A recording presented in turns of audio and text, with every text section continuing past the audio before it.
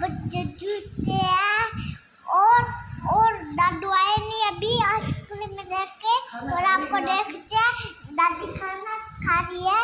फिर खाना फिनिश कर दिया था, मेरी प्यारी माँ बैठी है और खाना बैठा है।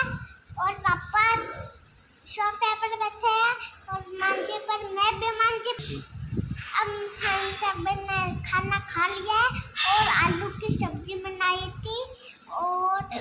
पास में तो जाते हैं। जब भी जब भी तो सड़कों पर जाते हैं ना, जब भी तो जब भी तो कुछ भी नहीं आता।